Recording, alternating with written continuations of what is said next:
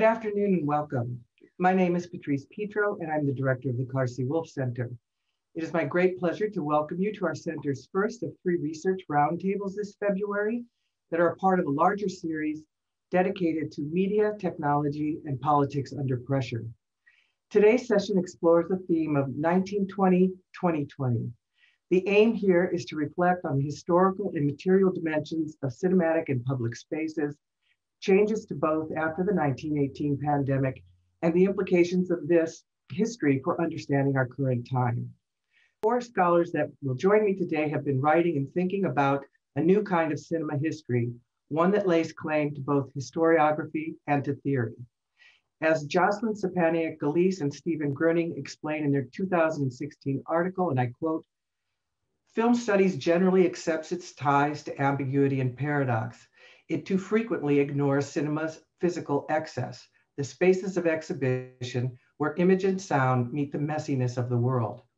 That particular moment of encounter and the multiplicity of things therein that misshape, reenact, and reconsider the relationship between film and the spectator bear a historical and theoretical urgencies.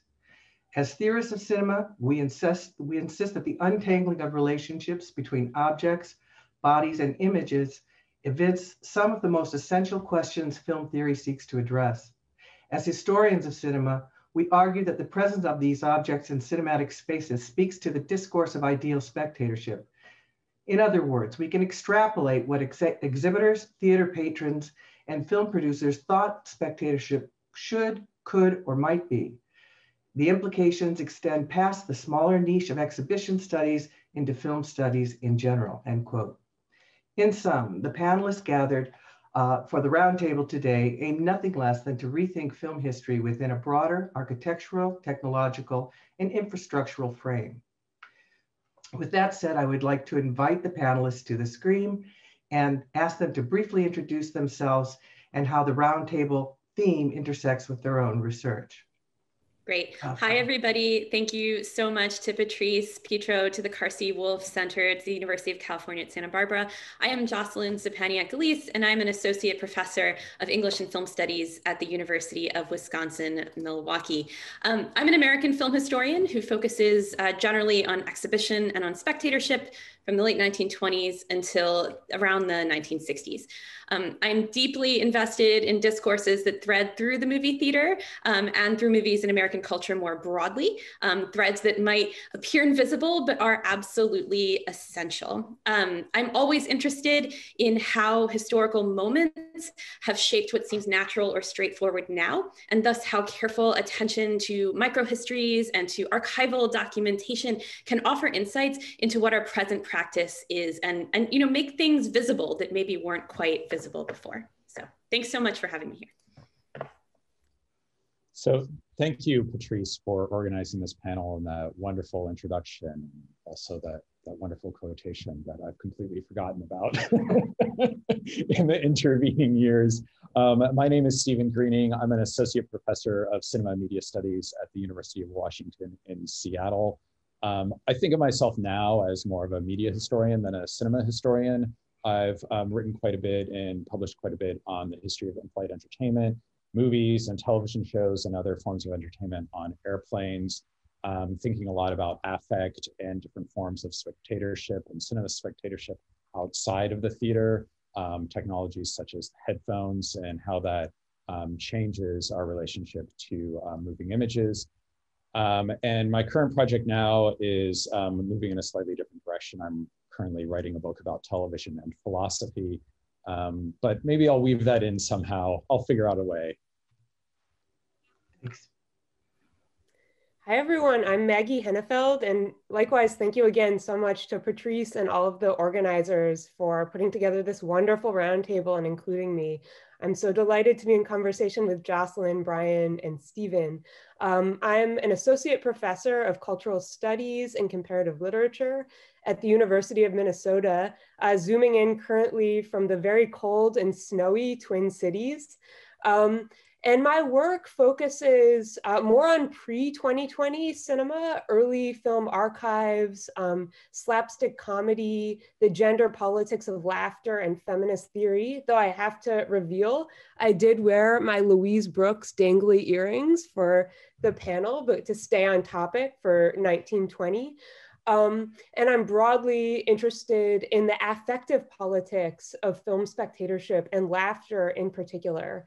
Um, so I'm currently, my, my first book is on slapstick comedians in silent cinema. If it's not too cheesy to flash my book cover in front of the webcam, we're all kind of ghostly floating heads these days via Zoom, much like Florence Turner as Daisy Doodad.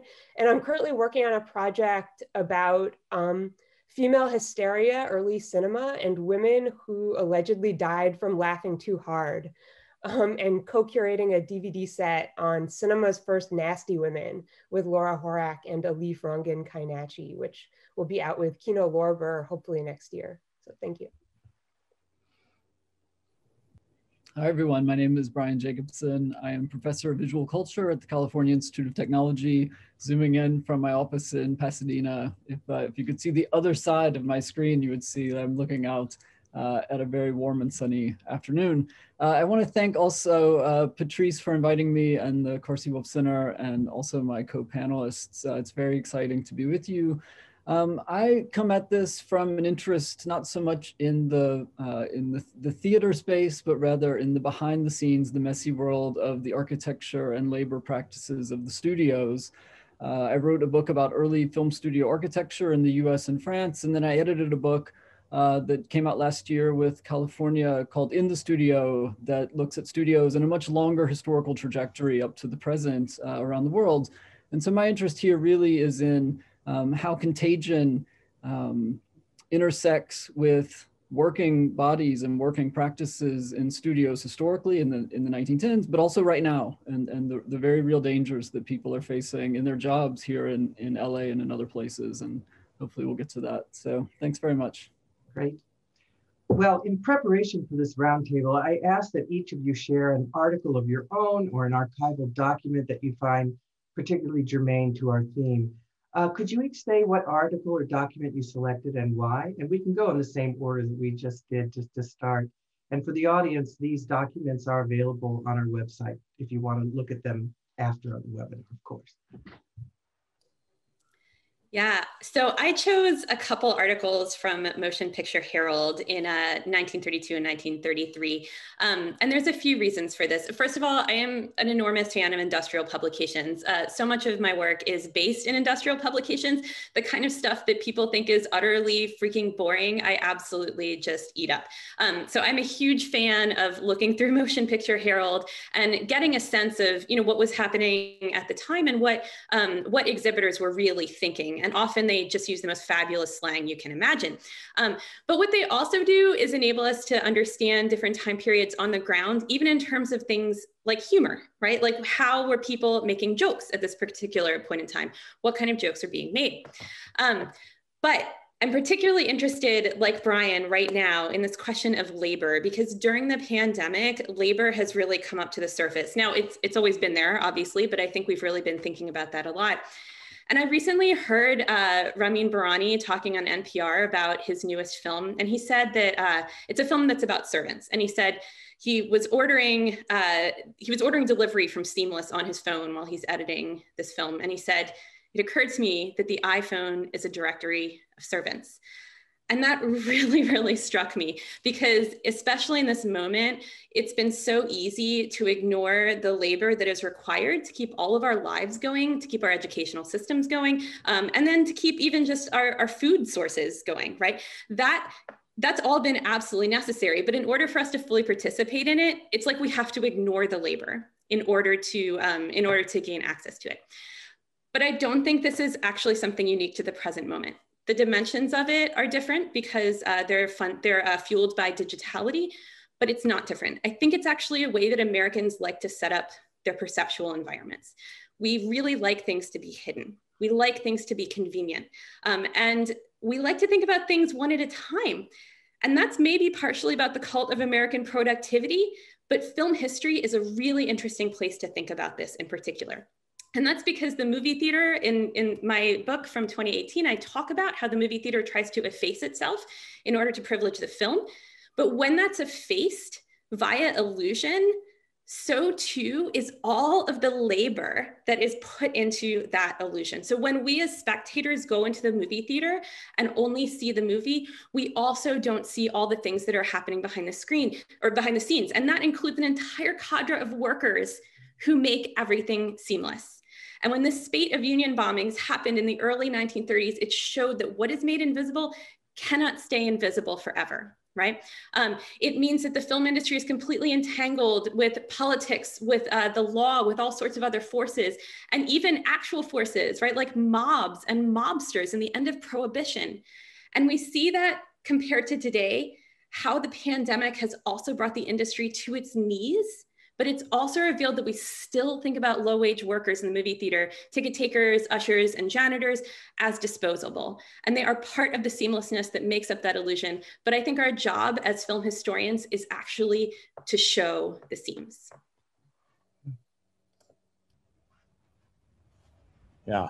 So um, thank you, Jocelyn. That, that was great. Um, I I kind of struggled with this actually a little bit when Patrice initially invited uh, me to participate in this roundtable and um, you know wrote a, a, wonderful email about the theme and, and the kinds of issues that she was thinking of to organize this panel. I immediately thought of masks, and I thought of the masks that were um, used on the battlefield in World War One which were basically modified versions of masks used by firefighters. And I have a feeling Brian's going to talk a little bit about fire um, within sometime in the next hour or so, it will come up. Um, and the way that World War One sort of led to this um, maybe flood even of patents of gas masks in the United States. The 1918 um, flu pandemic um, that hit, of course, um, going through some of the local newspapers here in Seattle, you can see ads for masks being sold at local drugstores, um, various ointments and lotions and liquids that you can add to your mask um, to help prevent the spread of the flu. I was thinking about um, masks as media, the way that um, maybe they can send certain messages. I've got one here. That's like a Miyazaki, a Miyazaki fandom mask to remind us all of the cuteness of my neighbor Totoro um, and to put us in a better mood. But you know, uh, in 1925, Hugo Gernsback um, invented this uh, thing called the isolator, which was this mask slash helmet hooked up to an oxygen tank that would um, basically allow him to focus his attention on only one thing at a time, because he felt in 1925 that there were too many things demanding his attention, and he needed to focus. So there's there's sort of echoes in the past of the situation we're in now. And then, of course, I was also thinking about popular culture um, and masks in the way that, you know, masks were once the disguise for the villain. And now there's sort of the necessary protective gear for the hero, right? All the superhero um, movies that we're seeing in theaters or not in theaters, as, as the case may be, you know, it's, it's often the heroes and the heroines who are wearing masks to disguise themselves. And that's a interesting cultural change. But as it turns out, um, I didn't share an article about masks. And in fact, I was thinking, I shared an article about what masks are supposed to enable us to do, and that is to breathe.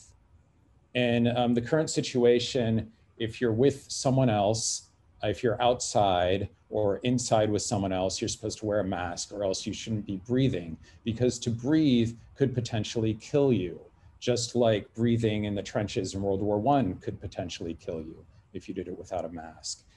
And so I shared this um, interesting uh, science article from 2016 in which a group of scientists, German scientists, went into the movie theater, went into a few movie theaters and measured the volatile uh, compounds, the volatile organic compounds that were circulating through the theater to see if they could figure out if there was some sort of relationship between the volatile organic compounds um, emitted by the audience and scenes um, shown on the screen.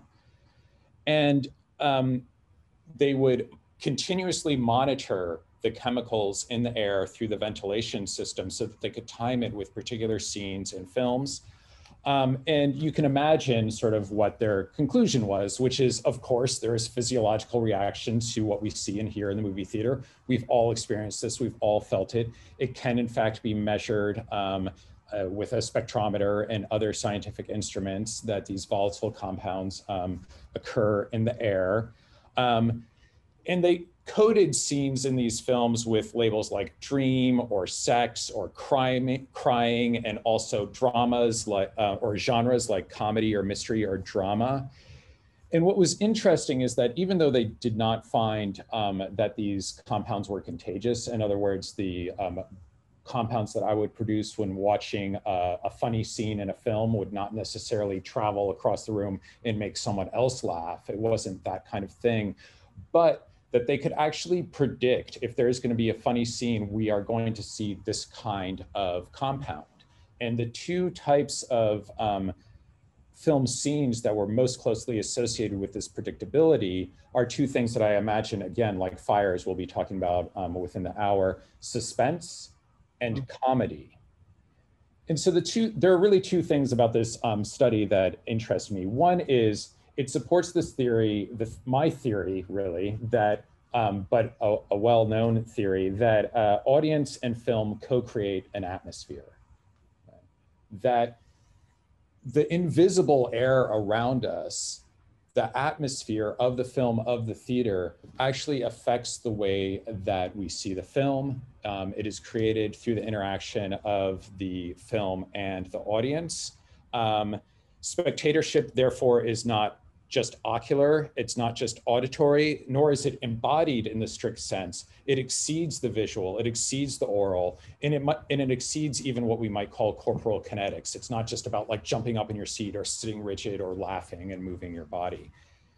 Um, and the, the other thing that interests me is that these two very predictable, very strong connections, comedy and suspense, are linked, according to the authors, with heightened anxiety.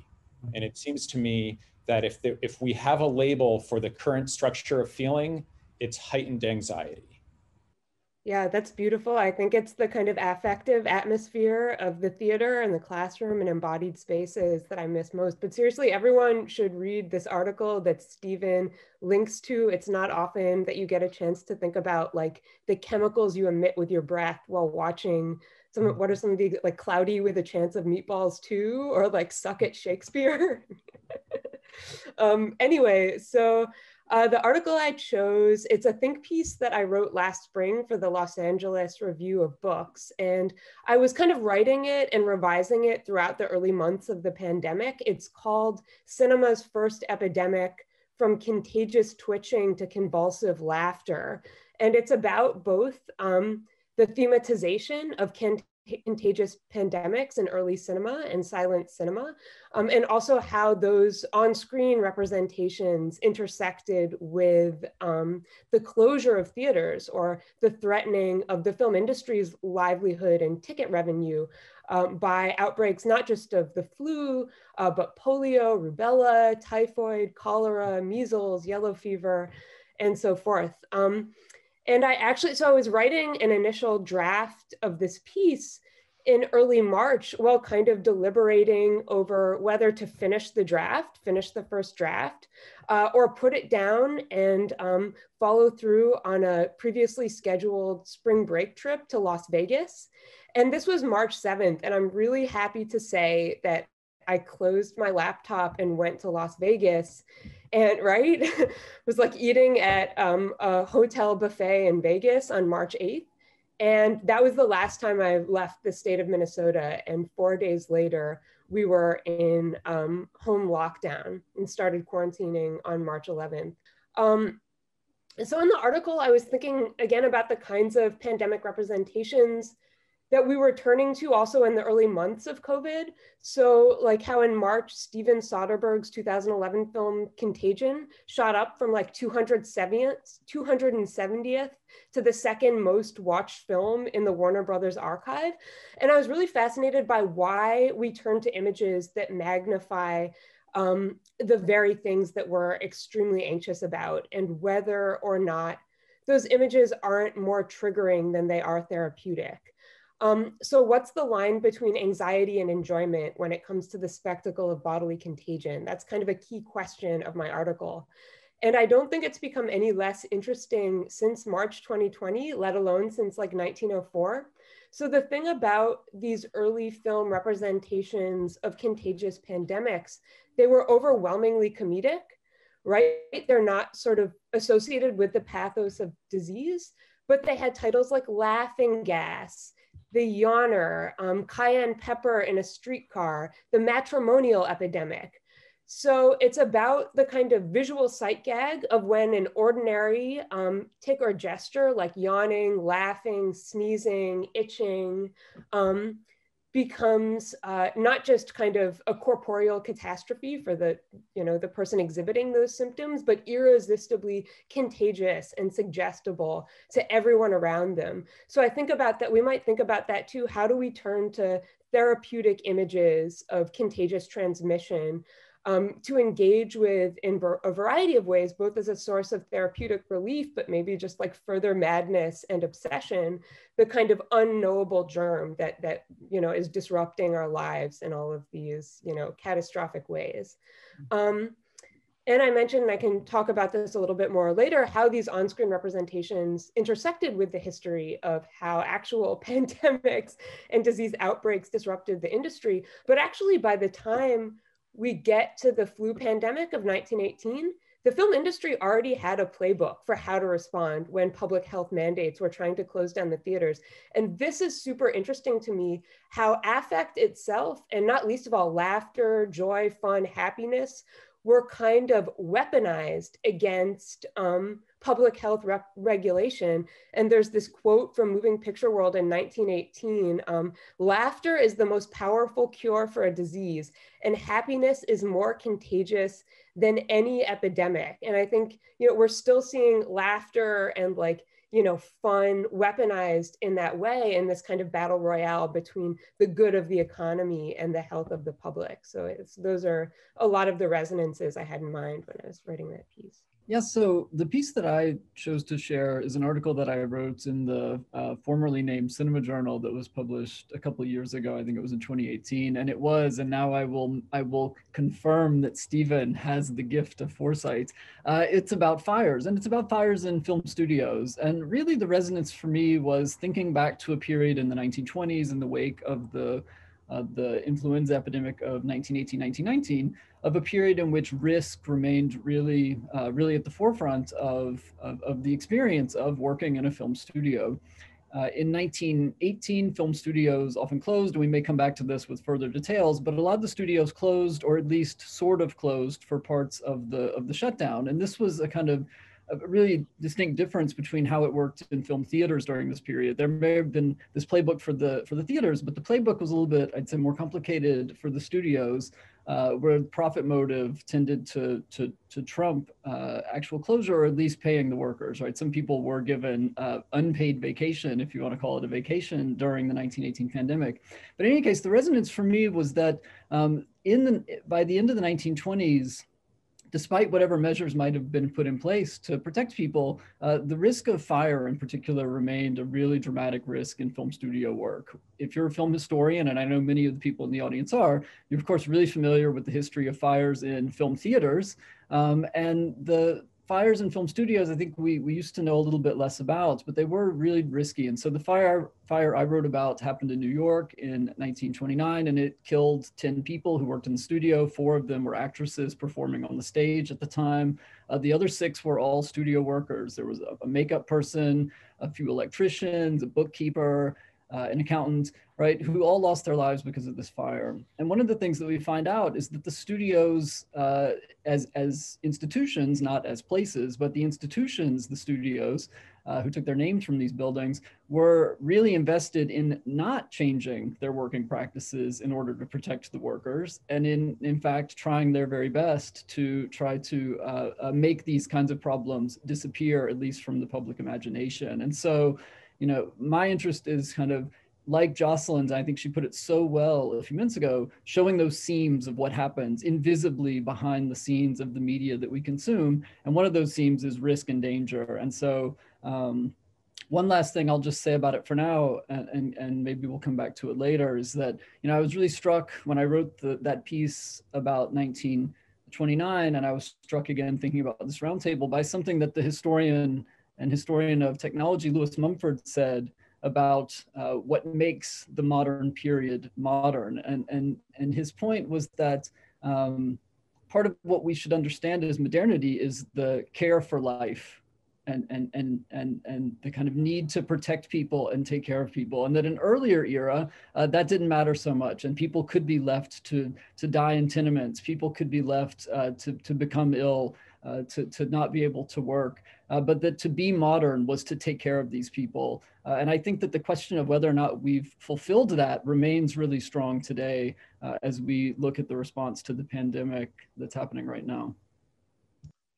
Well, thanks everybody.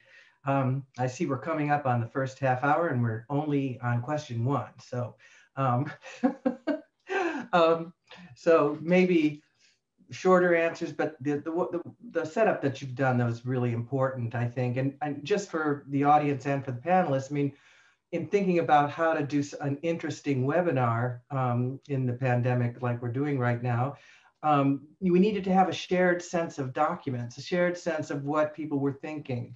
So that was the reason to ask for it, just as a kind of kicking off point. So I want to address uh, the first question to Maggie, although others are, are welcome to, uh, to add as well. And, and, in a way, I'm following on from what you already described a minute ago. Um, in that, in the article that you you wrote for the LA Review of Books and that you appended um, to our webinar, uh, you write, and I quote, even before the 1918 influenza plague, recurring waves of illness repeatedly threatened the livelihood of filmmakers and exhibitors. Polio bedeviled the industry from 1912 until long after the 1918 flu outbreak. Children under 16 were even banned from going to the movies, end quote. So could you say more about, you've already sketched out a longer, or your interest in contagion in film history, but the longer history of contagion, because part of the conceit of a panel called 1920, 2020 is that there's some, some equivalency, but in fact, what your very brief article suggested was this concern, you know, movies are dangerous places that was there from the very start. So please, Maggie. Thank you so much for that question, Patrice. I'll try to be brief. Um, we're all a bunch of talkers. We're all a bunch of kibitzers. Not to go on for too long. Um, yeah, I mean, and you've already given a couple of examples in your question. We've talked about this. Um, first of all, I want to say it is wild to do keyword searches for epidemics in Lantern because in like the same issue of Moving Picture World, you'll get, you know, scarlet fever outbreak closes down all theaters in, or, you know, a bunch of theaters in Chicago in 1906. And then like this mother-in-law themed comedy is a raging epidemic of fun and happiness for everyone who watches it. So it's like, you know, that's always the sort of archival happenstance of digitized keyword searches. Um, um, so all of these themes were kind of being um, explored in promiscuous, often perverse ways on the level of representation. Uh, but yeah, polio, I'd say, prior to the influenza outbreak in 1918, 1919, which was by far the most disruptive and national in scale in terms of the kind of crisis it posed for theater um, managers and the, the film industry. Um, children under 16 or 15 were banned on a regional level and on a temporary basis. So um, uh, theaters in uh, Omaha had, um, you know, just reopened from a polio motivated closure um, when they were again forced to, to shutter in, in October um, 1918. Uh, from 1912 onward, polio was kind of like the major epidemic devil of um, uh, film ticket sales. Scarlet fever outbreaks in uh, Chicago in 1906, New York in 1907, Ohio in 1910, um, in Omaha, Nebraska in 1916. Um, uh, local exhibitors won uh, an appeal uh, against um, a public health mandate to remain closed, a case that almost went to the Supreme Court. So I won't, you know, I have like a laundry list of these cases that I've very carefully and laboriously compiled from from Lantern, but I won't bore everyone with, you know, the the minutiae because I know we have juicier terrain to get to. All right, so let's talk a little bit about public spaces, entertainment spaces, and questions of risk and labor that we've already um, have been introduced. So how have film theaters mitigated the risks that viewers encountered as a result of public health and other crises? Uh, Jocelyn, um, you've recently written about a reign of terror in the early 1930s US theaters as a result of union bombings. You say that the movies are risky and have always been so. Can you say more about this and the tensions between mitigation and labor? Yeah, absolutely. I've wow, I've been completely entranced by this uh, story of what essentially was racketeering in uh, the early 1930s, particularly in 19 uh, end of 1931 until uh, about middle 1933. Uh, Gerald Horne and David Witwer have written about this uh, to a certain extent, but it's it's just a really fascinating story, and it's the story about how um, prohibition was about to end, and so mobsters, uh, primarily, you know, overseen by Al Capone and other uh, rum runners in Chicago, realized their profit streams were about to dry up. So uh, they kind of leaped onto the bandwagon of infiltrating uh, the IATSE, the International Association of Theater and Stage Employees.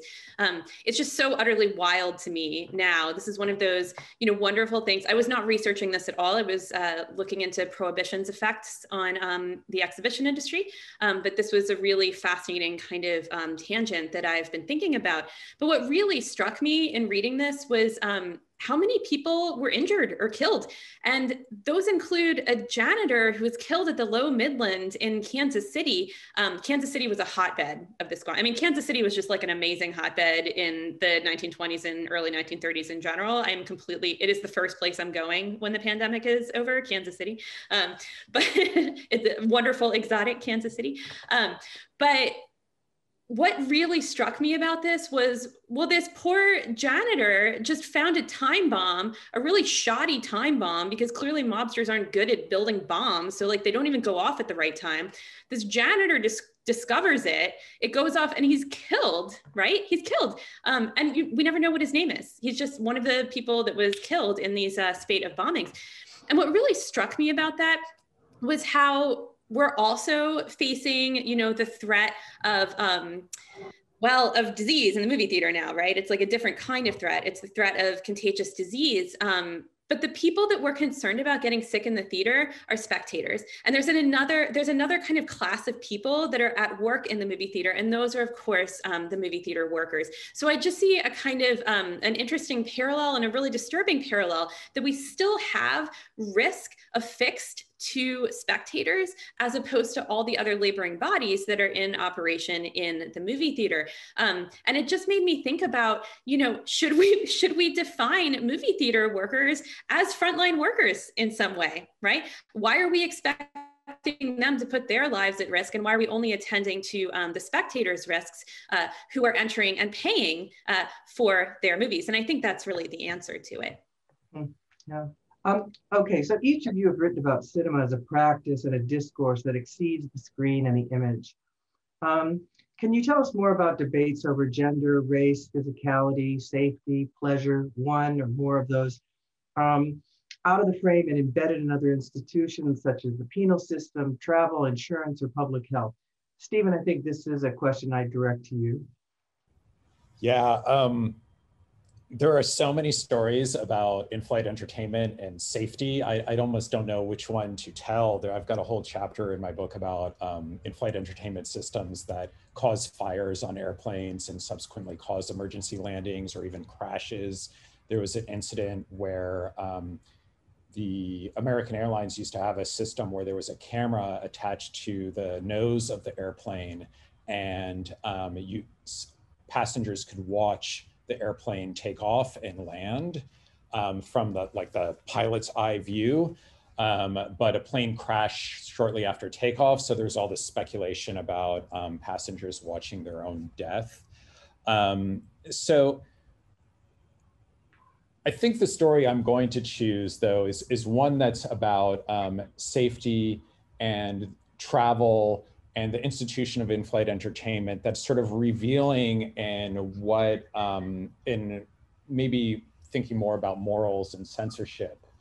In um, when TWA first started showing airplanes and or started showing movies and airplanes in the 60s, um, one of the, the difficulties it faced was that in the cock in the fuselage, you have a general audience, you have adults and children. And so what sorts of films can you show? And basically they said, we will only show films that have been approved by Parents Magazine and the Catholic Legion of Decency.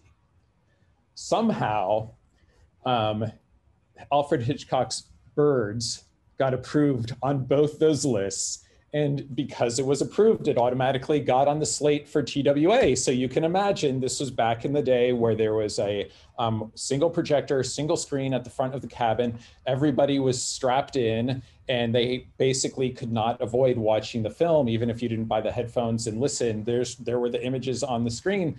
So you can imagine hundreds of people being forced to watch the birds while they're like caught in the airplane flying around and nowhere to go. This led to all sorts of complaints um, about being a captive audience, about not feeling safe, about anxiety, about um, horror, all of these things. And eventually, from there, led to um, further and further um, experiments within the airplane to try and make it so that everyone could watch their own film and there wasn't a shared screen. So that project really began um, in the late 60s, early 70s, and carried through to the seatback screen in 1998.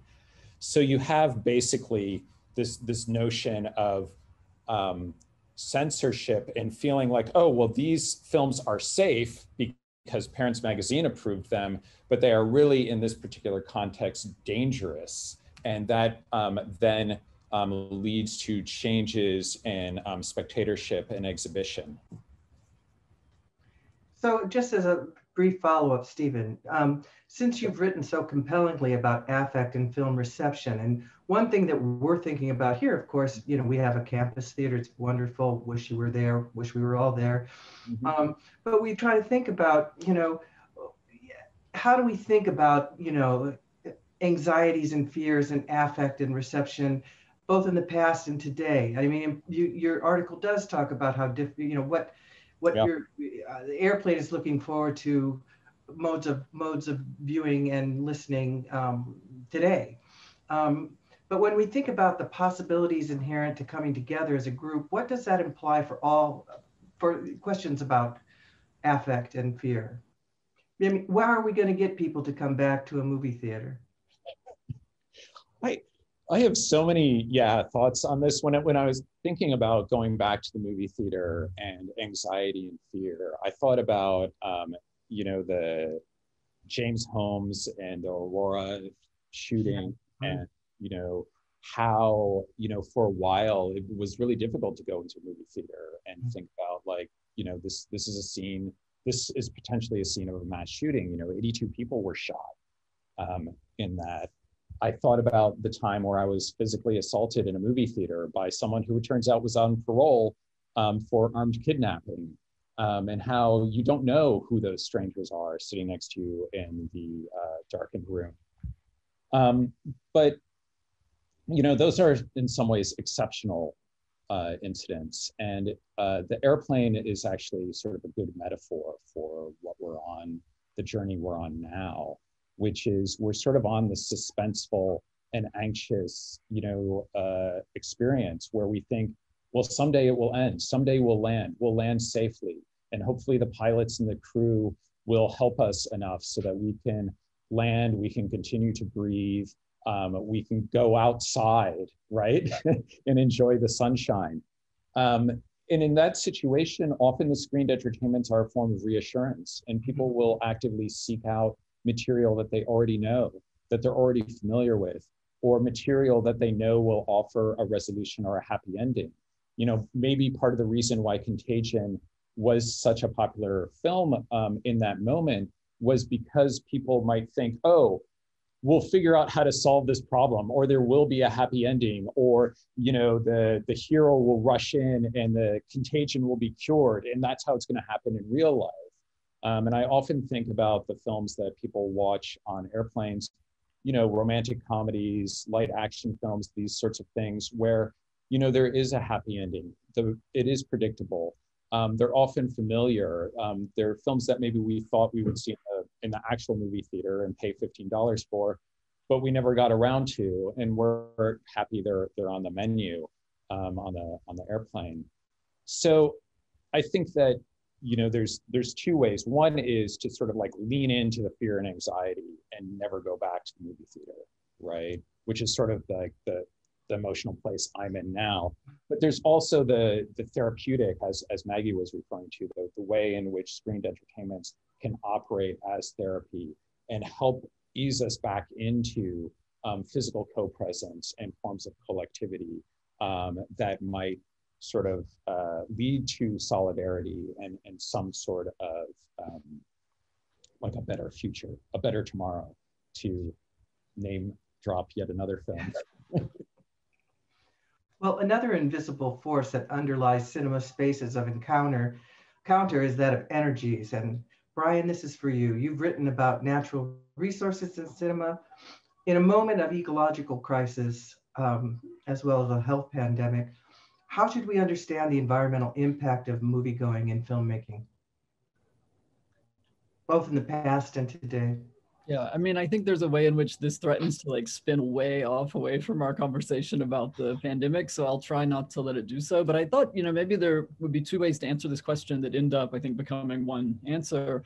One way is to um, to, to, to, recognize that you know many people have drawn an analogy between uh, the crisis that is climate change and global warming and the crisis that is the pandemic. And I think that there are real problems with that analogy. But what they do signal is that in both cases, what we have is uh, um, a, um, a situation in which the risk of these things is is uh, radically unequal, right? And certain kinds of people are at much greater risk than other kinds of people. And one of the things that we can uh, that, that we can think, you know, these things together through is thinking about how to mitigate risk. And the way to mitigate risk uh, happens long before these dangerous things happen. Uh, it happens in creating a more equal society, to put it in a rather banal but I think correct way.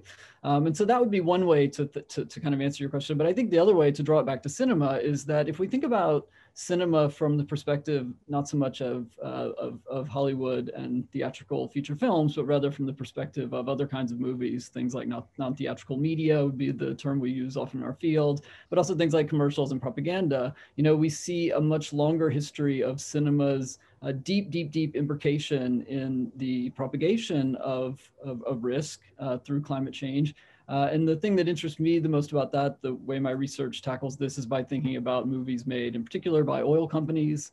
Um, and oil companies have a deep, deep interest in the cinema, uh, if you can imagine, um, and have made so many movies, so many movies that have taught us a way of living in the world, a way of understanding what the world should be uh, that is, you know, that is deeply influential on the on the climate change crisis that we face. And so I think one thing we have to do as scholars is to be attentive to this world of cinema. Uh, and I know many people in this audience uh, are doing that. I mean, the last thing to say, and this really ties these two together, is that there's a lot of excellent work, and I could name drop lots of people who are writing about the close links between uh, the media industry and climate change, because of course, uh, just to name one industry, Hollywood, Hollywood is a major emitter uh, of greenhouse uh, gases. And so, you know, we need to be conscious of the film industry's role in creating climate change. Um, and um, and you know there are certain things that Hollywood has done to to to try to make itself more green. Uh, some better than others, but I think that's a much longer conversation that I don't want to to take too far for now. So let's talk about the longer history of the transformation of the movie theater and its spectator you know, Brian, you have written about studios before the studio system and the architecture of cinematic spaces in early cinema. Maggie, you've also written about early cinema and representations of bodily contagion. Finally, both Jocelyn and Stephen explore exhibition histories from the 1920s onwards. Can each of you say something about the transformations you've written about, whether in the US or abroad, whether in the film theater or other spaces? Um, maybe also how those transformations tell us something about the constellations of spectatorship we see now? Yeah, uh, my my work really does focus on uh, the transformation of the spectator over time, uh, the cinephilic spectator, um, but especially the ideal spectator in terms of how exhibition conceived of this spectator. So um, in my first book, I wrote about um, how the movie theater became a space that, the American movie theater, I should specify, became a space that was really emptied of decoration and how that then resulted in a new way of controlling and regulating the spectator. Um, I think it is actually important to attend to that. I'll return to this theme that I've kind of been um, circling around today the idea of showing the seams, right, of what has seemed seamless. And now we're really used to going into a movie theater and it it's we're very used to it being empty and not full of the kind of decor that you would see in a movie palace or something like that. Um, but those aspects of invisible style have a history. They have um, they, they didn't like spring out of nowhere right? They're not natural. Um, and understanding their history enables us to understand the ideologies that helped construct them and also enables us to understand uh, how industry and really therefore um, american capitalism as well has conceived of all of us as spectators. And that really provides insight into um, how we understand our ways moving forward as, you know, as, as, as ocular uh, citizens of the United States, so. I can piggyback off of that. Um, super evocative uh, answer just because early cinema was such an embodied space, right? Before the formation of the kind of implied spectator who's positioned by um, the gaze of the film as text, right? Early cinema, there were no dedicated movie theaters until around 1905 with the Nickelodeon boom. Um, and early cinema was everywhere, um, right? At the fairgrounds, the circus, church, traveling shows, uh, community clubs. Um, it simultaneously kind of permeated and transformed a variety of institutions going back to your earlier question, Patrice, about the relationship between cinema, cinema as industry or discourse versus cinema as kind of inframed aesthetic image. And I think like this transitional period in cinema from like the mid 19 aughts through the 19 teens has always fascinated me because cinema as an institution is becoming sort of decorporealized, right? If the early film spectator would maybe turn around away from the image itself to marvel at the projector, right? It was an incredibly embodied space. And that was sort of the locus of its affective politics, the way in which Miriam Hansen talks about early cinema as an alternative public sphere for bringing together all of these sort of isolated communities through their experience of this new medium. Um, the transitional film spectator was becoming increasingly disembodied. Um, so these transitional films um, uh, frequently thematize images of like female metamorphosis, limb dismemberment, and so many other bizarre experimental images of bodily self-rupture. And that's always been super fascinating to me. Um, speaking about the kind of labor politics of care work and social reproduction that have come to a crisis during the pandemic, there was a really popular uh, spate of kitchen maid themed comedies where the kitchen maid would dismember her limbs to finish her housework on time. Um, this one film I was just watching earlier for the Nasty Women set is called the nursemaid strike. And you know the women who care for other people's children go on strike. They attach like a rubber hose to a cow udder to feed the babies. The older children stage a counter protest. And i'm kind of think you know it's like i think it was sort of mocking the suffragette movement and labor politics labor protest at the time. But I find La Grève des Nourrices incredibly empowering to watch today because I think we actually need um, uh, I don't a general strike of reproductive care work that is you know kind of too often been maid invisible and you know we just we just keep bending to accommodate all of the unresolvable contradictions that the pandemic has exacerbated but yeah maybe we need more um, early film style made strikes those are my two cents Thanks. So Stephen or Brian, Brian. I'll go ahead and jump in. There's a question in the Q&A that I think this is an opportune time to answer, which is about whether or not their uh, theater America, or whether or not movie theaters are planning to update their HVAC systems. And I think the answer is maybe. I think that there have been some uh, some some negotiations and some guidelines developed that suggest that the current HVAC systems must be in working order if they're going to be open. But I don't know if that is is, is quite uh, what it takes. Uh, but one place where we do know that HVAC systems are really um, being considered is in movie studios again. And one of the things that really fascinates me is that actually, in some ways, you know, things haven't changed very much from early cinema in terms of studios. Technologies, of course, have changed quite radically, right? No longer are people making movies in, you know, greenhouse style uh, open spaces as they were in 1900. Uh, but nonetheless, the basic ambition of the film studio remains the same. It is a place that is defined by a desire for environmental control, right? Mm. Extreme environmental management in order to create a, an environment that is perfect for creating other environments. That hasn't really changed at all. But one of the things that the pandemic has thrown into, into relief is how that ambition to control the environment must also include air quality control. And so one of the things that we've seen um, in, in, in, in LA and also in places like Georgia, where a lot of filming is taking place, is that studios have updated their HVAC systems with the ambition of filtering out uh, more virus uh, if possible in order to create air that is safer to breathe. And that has really struck me as one of, as one of the things that um, is really interesting about how the studio might change as a result of the pandemic. But in many ways, the studio hasn't changed at all, right? It retains this ambition to control the world in order to create uh, new kinds of worlds. Stephen, yeah. Yeah, I'll just jump in there because what Brian was saying reminded me that in some ways the safest movie theater right now is the airplane because so many airlines have upgraded their um, HVAC systems, their circulation. They go through with those UV robots to um, blast everything. So um, there is a way, and because of the mixed lighting, it's not completely darkened. You can actually see if somebody's wearing a mask or not. Um, of course, that's mitigated against, you know, every day there's another air rage story and another person who refuses to put on a mask or refuses to deplane or, you know, these kinds of things. But in some ways, um, the, the control of the air and the literal air conditioning is, you know, exactly what we need to be thinking about um, here. And that goes back to what Maggie was saying about childcare workers. You know, so many um, school teachers who are being pressured by parents, by legislators, by pundits to go back to schools where there are no working windows. In some cases, particularly here in Seattle, where air conditioning is just not a thing, it's, it's different than, say, Phoenix, Arizona, where air conditioning is sort of built into everything.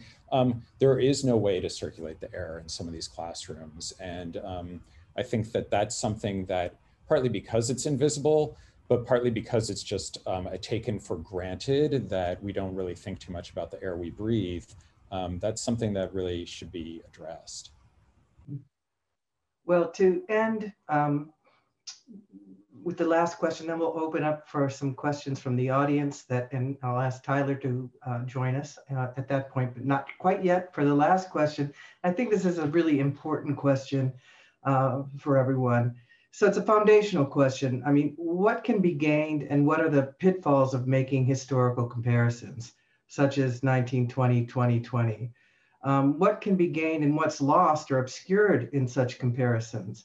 I mean, I was thinking when Arnold Schwarzenegger came out with his public service announcement comparing uh, the January 6th insurrection to Kristallnacht, I thought, what makes you think this is 1938? This might be 1923. This is the beer hall putsch. This is, you know, this is the beginning, not this, you know. So, in your own work, how have you navigated, um, you know, archival research and pressing theoretical questions? I mean, what's the point of writing history now? And I want you to really reflect on the, the conceit. I mean, it's both interesting, but as Brian, as you were just saying, nothing really has changed fundamentally. I mean, one of the things that really struck me is in trying to make sense of how the movie industry is operating right now, I found it useful to go back and think about 1918 as a point of reference, not as the point of reference necessarily, but as one point of reference that might be useful. And I found it really striking that um, you know that it that how similar it is that in 19 January 1919 you can read in the moving picture new motion motion picture news I think is the name uh, and find out that not a single studio in LA uh, does not have at least one or more people who are out with the flu right? And yet the studios are still operating. And we see this happening still today. I mean, and this goes back to that uh, a point that Jocelyn made earlier about essential workers and who gets counted as an essential worker. Here in California, movie uh, the movie crews are essential workers as designated by the governor uh, but that hasn't meant that they aren't in great danger. And you know it's it's been really amazing to watch uh, how many coronavirus outbreaks there have been on movie sets just like there were back in 1918 and 1919 and you know if you're a fan of of lots of shows that you want to watch at home the one that is most kind of reflexive here in la would be uh, Mr. Mayor, right, where Ted Danson plays the mayor of Los Angeles. That show has been shut down by coronavirus outbreaks on set, and there are many, many others that have been. Um, and there's a real fight. And the other point, and then I'll then I'll stop. But the other point that really struck me is um, looking back at some of the real resistance to shutting down the industry within the industry. Right, people want to work. Right, people need to work. They need to get paid. Uh, and the most striking I found was a poem from November 2nd, night, published on November 2nd, 1918, that refers to the local health board as the H-E-L-L-T-H board, right? The Hell Health Board, right? Because they don't want the health board to tell them what they can do and what they can't do. And one of the things that we've definitely seen here in LA are a lot of industry workers who don't want the governor to tell them that they can't go to work. Um, you know, and I think behind this is a shared problem from 1918, 1919, and, and, and 2020, which is that these people need to be paid uh, and that we, we need their content, uh, but we also need them to be safe. And if they can't go to work, they should still be able to earn a living wage. And in 1919, people were made to take time off work by Fox Studios without pay. And in 2020, if if people can't work, they don't get paid. And I think that that, you know, that problem is the lasting problem that we need to address.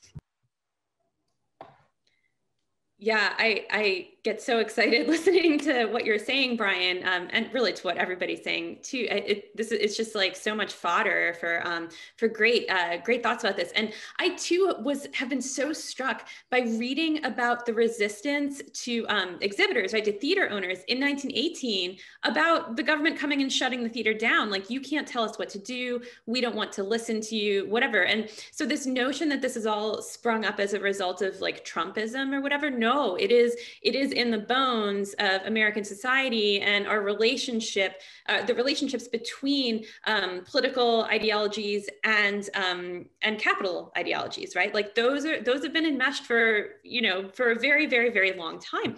But the other thing that it makes me uh, think of is how. Um, how the theater has continually been the icon of normalcy right? Like if we can, we'll know we're back to normal if we're back in the theaters. And that's the way it was positioned after um, after the influenza pandemic too and that's the way it's positioned now right there's something about the movie theater and that the particular form of escapism that the movie theater and movies together signify that equals uh, normal American society, what normal American society in some ways. And I think um, excavating why exactly that is the case is going to be really fruitful in the coming years.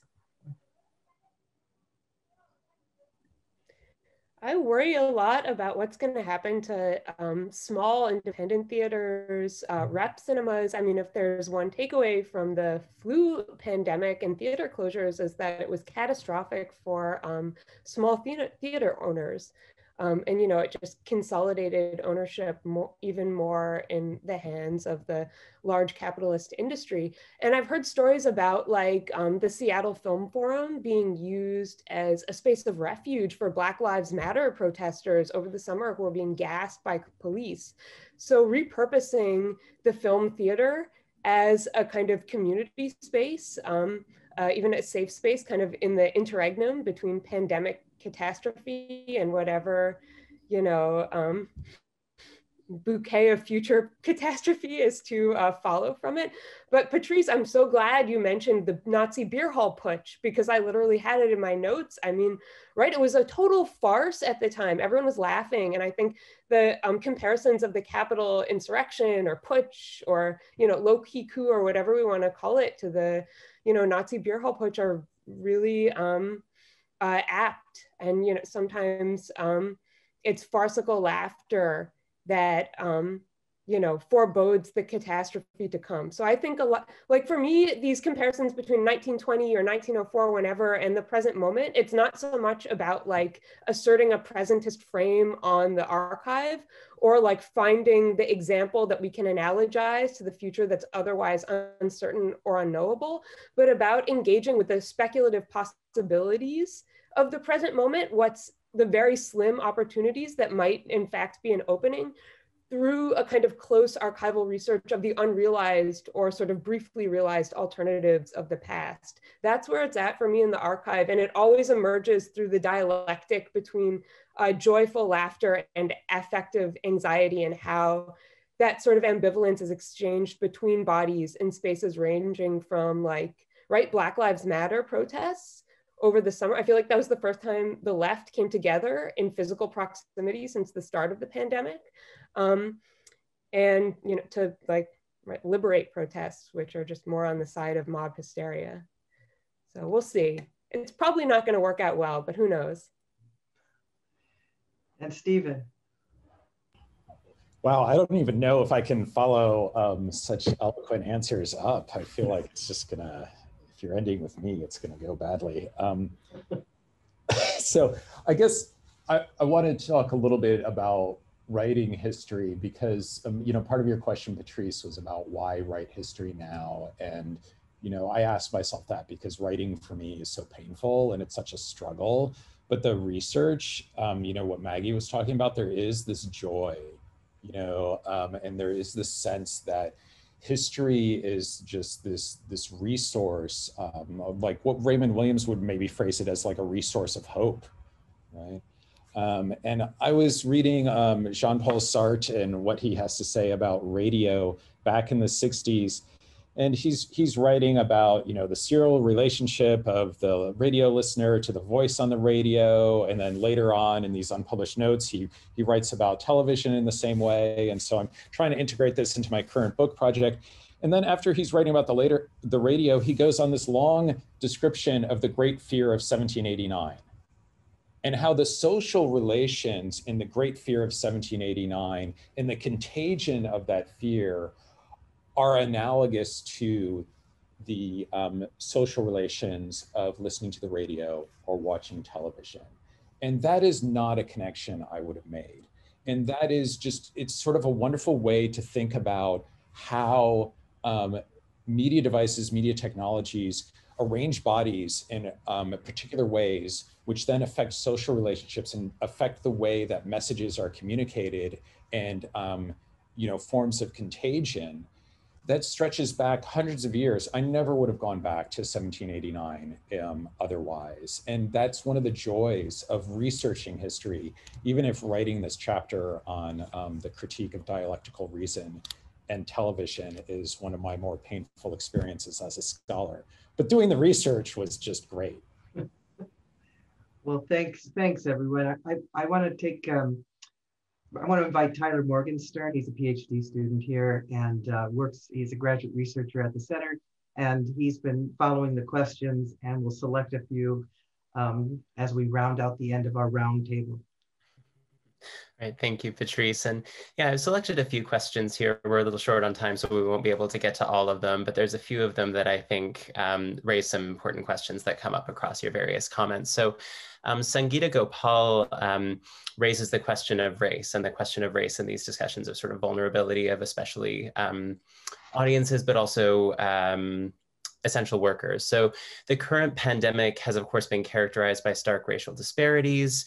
Um, infection rates are far higher among people of color, while rates of vaccination and access to medical services are markedly lower among those same populations. Um, in your respective research on this sort of 1918, 1920 period, do you notice similarly sort of racialized patterns of risk and exposure and vulnerability um, in your work? Yeah, I um, I don't typically research um, contagion and disease and so on, but I'll, I'll take this in a, a slightly uh, I'll take this in the direction that I've kind of been uh, talking about today. Um, in a lot of my work, you know, what, when I look at uh, discussions of exhibition from the basically about the early 1930s until the 1950s, the default spectator is always white right? That's what you just have to assume that exhibitors are saying. Um, theaters, of course, are segregated around the country. There's different segregate. There's different um, laws of segregation in different parts of the country. Um, typically, it's just very municipal. It's uh, even theater by theater. Um, so you, we can't really make blanket statements about segregation. But much of the country did have um, segregated theaters, obviously prior to um, prior to the civil rights movement. but one of the things that I found so interesting in doing this kind of research is that. Uh, you know, in segregated theaters, typically um, Black audiences would be restricted to the balcony, right? Like if, if the theater is segregated and allows um, Black audiences in, they're going to be restricted to the balcony. And that's because the balcony is, right? Like you can't see that well. Um, so as as there's this move um, over the 1930s to transform the theater into a place that's kind of like a machine for seeing properly, um, very few uh, architects are focused on the sight lines in the balcony. They talk about sight lines and how we have to make sure that people can see properly, but they're not so concerned about the sight lines. And it's when I read about um, architects like Ben Schlanger, who um, I wrote about, um, when he talks about how important it is to think about the sight lines in the balcony, that's one of those moments moments that you can start to say, aha, I see that somebody, somebody is finally starting to think about what it means to have a segregated theater and what it means then to uh, have um, to have a different understanding of how optical technology might work across um, across races, right, across the different kinds of audiences that are in the theater. So it's really a form of excavation and trying to find out, right, like trying to to look with the eyes of a person in that time to understand how um, how these how these uh, different dynamics of audiences might have been working. So in the in the 1920s in the aviation industry in the United States, it was very dangerous. Um, there were a lot of airplane crashes, and the commercial airline industry was trying to reassure people that air travel was safe. And to to follow up on this question about race, you know, this is also the time when we have in-flight entertainment being introduced on airplanes, 16 millimeter projectors um, on, uh, you know, TAT flights. What does that stand for? Trans. Um, Atlantic or yeah, anyway. Um, it later became Western Airlines, which is how I, I know of it um, in 1929. But the reason why we have um, white stewardesses on airplanes is because of reassurance that flights were safe. So they wanted nurses, trained nurses. They wanted young women who could act a motherly role, and they wanted specifically white women because white women were also perceived as safe and docile and they wanted to distinguish the very dangerous commercial aviation industry from the safer railway industry, which of course was serviced by black men, Pullman porters. So you have here um, in the 20s, you know, just as you would expect, you know, explicitly racist practices and hiring practices, but to protect whites and wealthy whites from the contagion of blackness and to prevent um, wealthy whites from coming into contact with the presumably dangerous black men in close contact in the airplane cabin. So yeah, I mean, I, my my glib answer to this question is we live in a white supremacist society. You roll the dice, it's going to come up racism. It just doesn't matter. It's always coming up racism. So yeah, it's there. Absolutely. All right. Um, following up on that, we have a couple of questions, one from Yiman Wang and one from an anonymous attendee, both of whom are interested in what happens to the role of cinema as a kind of public sphere or counter public sphere um, that you mentioned, Maggie, earlier, um, under conditions of pandemic when our viewing is highly individuated, privatized, um, and confined to our living rooms for the most part. So how would this whole discussion of the venue and the affect of reception and of exhibition shift as exhibition becomes micro and individuated under the duress of the pandemic and condemnation? What will happen to the cinematic public sphere? Yeah, I thank you, Yiman. That's a really um, crucial question, and I worry about that all the time. I had jokingly contributed as to my materials for this, something I didn't realize was going to be added to the folder, um, which is a picture of my cat blocking the television screen while we're watching um, the film Mandy, which is just a bizarre film to bring up in this context for a number of reasons. Um, you know, so there are like little joyful disruptions, like like you know. Uh, interruptions by unforeseen bodies that can even make their way into one's domestic space. But um, I don't know, speaking to the article that Stephen assigned about the affective atmosphere that's created by the very chemicals that we breathe and that we laugh and that we sigh in the space of the theater, I do always hold out for that kind of utopian potentiality, no matter how unlikely. Um, that's that's created by film exhibition culture. And there are ways that we can get that get that or hold on to that kind of um, fantasy during the pandemic through social media discourse. I'm very plugged in to responses to sundance on twitter. Um, I, have become addicted to twitter probably for worse but it is a kind of a way of staying plugged into one's one's community one's film community. And i think that this kind of deprivation has increased our hunger for the embodied spaces of film exhibition all the more. So assuming any of the theaters that survive, maybe because of the AMC meme stock, some of them will, thanks be to Reddit. Um, but I don't the, the, the desire is not going to go away as a result of the, the pandemic. The desire certainly won't. I hope the spaces themselves still exist or we can think of ways to rebuild them. I'll give the last question to uh, Bishnu Ghosh from here at UCSB, um, who follows up on Stephen, uh, wants to follow up on Stephen's focus on atmosphere as the seam between the physicality of air as a medium of transmission, bad air, viral transmission, and air as a kind of social atmosphere or an affective matrix, something that contagion folds together. Does air as humidity or temperature, joy or danger figure in your archives or is it invisible? Well, it figures in my archives because I'm specifically looking for it. Um, you know, in one of the great changeovers from um, the kind of analog research I was performing as a graduate student to the digital keyword searching that, that Maggie talked about is that if you, you know, search for the word air or atmosphere, you get all sorts of unexpected results. Um, and that can lead to unexpected connections. I, I, think for me, the importance of thinking about air, atmosphere, meteorology, and you know, I kind of want to hear from Brian about this as well, because I know he's written uh, about this, uh, is that it is un- intangible and very difficult to explain to to other people. I thought about um, you know, with film atmosphere and affect, when uh, I saw The Phantom Menace in the movie theater when it first came out, and the sense of anticipation and joy in the crowd that carried over through the length of what is not a very good film, and which fans later turned on. But at the time, everybody was just so excited for a new Star Wars film, it didn't really matter. And that fascinates me. That fascinates me that the air can change the way we receive a film. And I, and I mean that in, in the sense of that the questioner is using it as well, that it is both the, the literal chemicals in the air, but also the kind of exchange and contagion of feeling that is brought into the theater by the audience. Um, and some of my best memories of watching films in theaters are because the audience is so enthusiastic that it makes a terrible film or a mediocre film that much better right? That much more um, exciting and enjoyable. So Brian, you want to have the last word?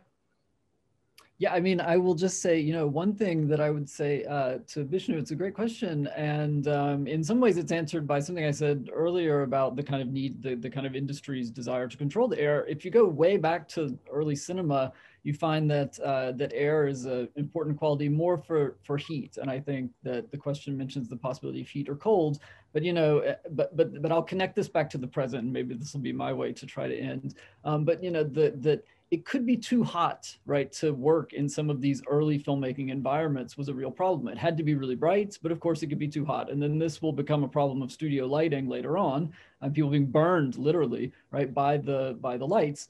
Um, but in the early period, one of the things it means is that certain kinds of film workers uh, can demand to not work in these places. And those are, of course, the celebrities, right? So celebrities didn't want to go out to Thomas Edison's laboratory and work there because they didn't want to have to go that far or because they didn't want to be cold in this uh, old, you know, in, in the original studio. They wanted to be able to stay in New York and have a more comfortable place. Now, the way we can tie that back to the present and think about the problem of air is to think about how Hollywood has tried to manage uh, the risk within within the film shoots that are going on right now in Los Angeles. And one of the ways they've done it is by defining the parts of the set according to zones, right? Zone A, Zone B, Zone C, right? And who is allowed to be in these different spaces, right? And Zone A is where the celebrities are not wearing their masks, right? Performing and at great risk. Now, if you're not too cynical, you'd say, well, of course, it makes sense that this is a very protected area because it's the place where people can't wear PPE and where transmission can occur quite easily. If you're a little bit more cynical, then what you can see is a spiraling out of risk from the center, the highest point of wealth and privilege in the film industry, spiraling out to the people who are less and less privileged. And those less and less privileged people right, are more are are are are are in these different zones and they're subject to different rules of air and what one can breathe and who can be in one space. Uh, and that for me uh, is something that is very consistent across all of film history and really matters a lot to, to, to it, it's something that we can see thanks to the pandemic in a way that maybe we couldn't see it as well before. Um, and I don't think that's being presentist, but rather uh, allowing the kind of present to illuminate the past, uh, right? In that kind of leap uh, that, that historians can, can make. Um, and I will, I'll stop there. Okay. Well, Brian, thank you. Stephen, thank you very much. Maggie, Jocelyn, thanks for helping me put this together. Um, thanks, everyone.